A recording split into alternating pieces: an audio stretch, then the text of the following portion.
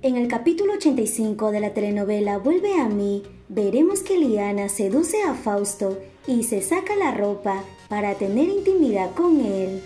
Ellos disfrutan el momento, generándose una nueva pareja demasiado peligrosa. Fausto le pregunta qué es lo que quiere hacerle a Nuria y Liana responde que desea hacerla sufrir y que ella llore sangre.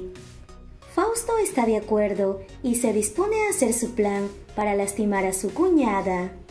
Por otro lado, vemos que Andrés sigue las palabras de Braulio y le pide a Nuria que demuestre que lo quiere, dejando a Santiago.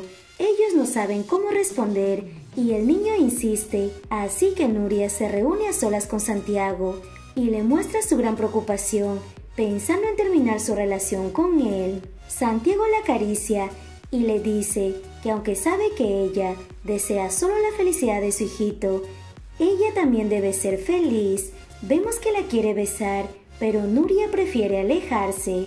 Y tú dinos, ¿qué le hará Fausto a Nuria? ¿Crees que ella termine con Santiago?